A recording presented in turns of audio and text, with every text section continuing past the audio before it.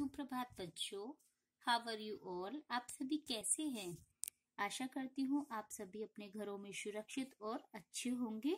बेटे, पिछले वीडियो में हमने पाठ सात, आपकी हिंदी व्याकरण पुस्तक का पाठ सात विशेषण पढ़ा था। इसमें हमने विशेषण और विशेषण के, विशेषण, विशेष्य और विशेषण के चार भेद के बारे में विस्तार पूर्वक पढ़ा था। आज बेटे हम इसके प्रश्नोत्तर करेंगे। आपके अभ्यास प्रश्न पत्रों में पहला जरा सोचिए और बताइए है। इसका पहला प्रश्न देखिए अपने विद्यालय के लिए आप किन तीन विशेषण शब्दों का प्रयोग करेंगे? सुंदर बड़ा सफ़ाई। ये क्या है?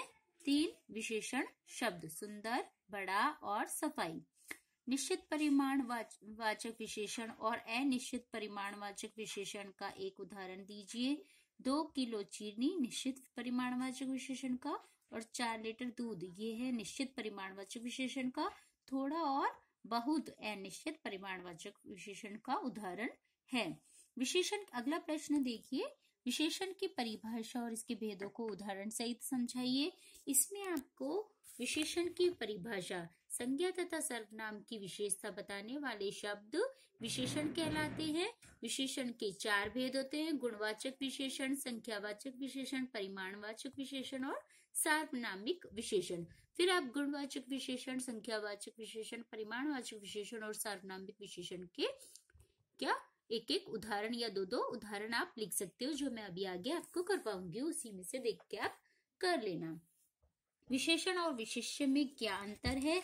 इसका उत्तर आप बेटे अपने चैप्टर के स्टार्टिंग में आपको सबसे पहले विशेषण की परिभाषा लिखनी है, जो शब्द संख्या या सर्वनाम की विशेषता बताते हैं, वे शब्द विशेषण कहलाते हैं।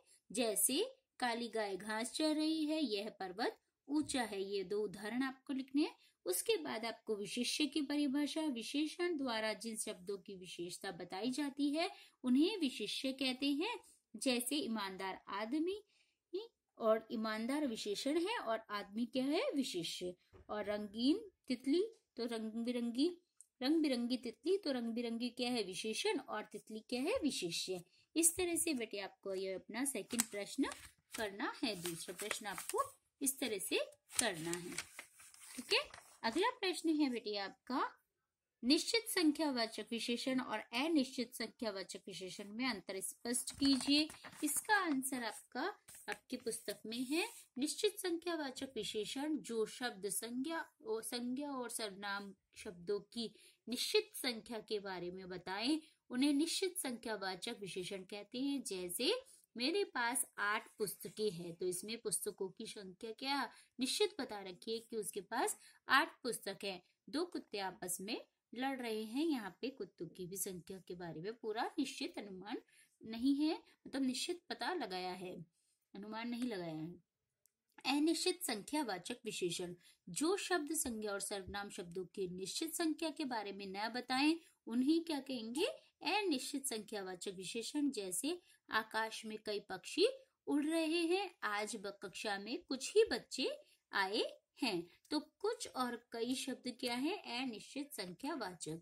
तो आपको ये प्रश्न यहाँ से यहाँ तक बेटे कंप्लीट करना है। ठीक है? अगला प्रश्न आपके आपके बुक में फिल करने हैं। ये दोनों प्रश्न आपको बेटा अपनी नोटबुक में करने हैं। पाँचों प्रश्न, तीन आपके मौखिक है ये और दो आपके मौखिक प्रश्न है, तीन आपके लिखित प्रश्न है। अगला प्रश्न देखिए। सही विशेषण बनाकर रिक्त स्थान भरिए। यहाँ पे कुछ शब्द दिए हुए हैं, चमक, वर्ष और सुख इसको हम विशेषण शब्द बनाएँगे और इसके अकॉर्डिंग आपके सेंटेंस के हिसाब से। वह तारा बहुत चमकीला है। तो चमक से विशेषण क्या बन जाएगा? चमकीला। इस शहर में सब सुखी हैं। सुख नहीं आएगा बेटे यहाँ पे। यहाँ पे क्या आएगा? सुखी हैं। हमारे वार्षिक हमारे विद्यालय में वार्षिक उत्सव मनाया जाएगा। तो इस तरह से आपको ये तीनों शब्द आप इसमें लिखने हैं। निम्नलिखित के दो दो उदाहरण लिखिए। अनिश्चित संख्यावाचक बेचता मैंने आपको बताया था कि ये उदाहरण में लिखूँगे तो आप इसी में से देख के अपने प्रश्न एक के उदाहरण इसमें से देख के ही लिख लेना। अनिश्चित संख्यावाचक का उदाहरण है कुछ और बहुत। ठीक है? गुणवाचक विशेषण, मीठा, आम, पीला, कुर्ता, या कोई भी आप उदाहरण लिख सकते हो, चालाक, लोमड़ी, ठीक है? या चालाक, बंदर। है ना, शैतान बंदर या है ना, बहादुर, सैनिक कोई भी उदाहरण गुणवाचक विशेषण का निश्चित संख्यावाचक विशेषण, दो लीटर दूध, चार किलो आम या आप जो भी अपने अकॉर्डिंग लिखना चाहें। सार्वनामिक विशेषण सार्वनामिक विशेषण का उदाहरण यह है, वह जिसमें भी सर्वनाम शब्द पहले आए, ठीक है? सही कथन पर सही और गलत कथन पर गलत का चिन्ह लगाइए।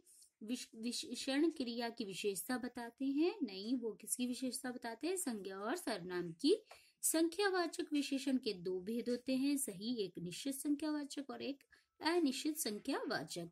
रंग का विशेषण रंगीला है। नहीं, रंग का विशेषण क्या होगा? रंगीन। यह का विशेषण ऐसा है। नहीं, गलत। प्रश्न पाँच है। निम्नलिखित प्रश्नों के सही विकल्प पर सही का चिन्ह। लगाइए। संज्ञा के कुछ गुण, संज्ञा के गुण, दोष, आकार, अवस्था आदि के बारे में कौन सा विशेषण बताता है? तो उसके बारे में गुणवाचक विशेषण से हमें पता चलता है। गुणवाचक विशेषण की यही परिभाषा होती है। जो विशेषण, संज्ञा और सर्वनाम की विशेष, की संख्या बताते हैं, उसे क्या कहेंगे हम? संख्यावाचक विशेषण। बूढ़ा शब्द क्या है? अवस्था है बूढ़ा।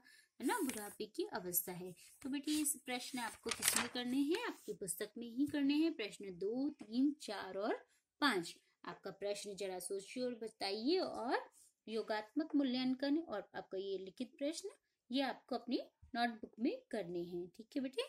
और बाकी जो आपको, आपका ये चैप्टर कंप्लीट हो गया है, आपको इस चैप्टर को अच्छे से रीड करके और लर्न करना है। ठीक है? आपके चैप्टर सेवन कंप्लीट हो गया है।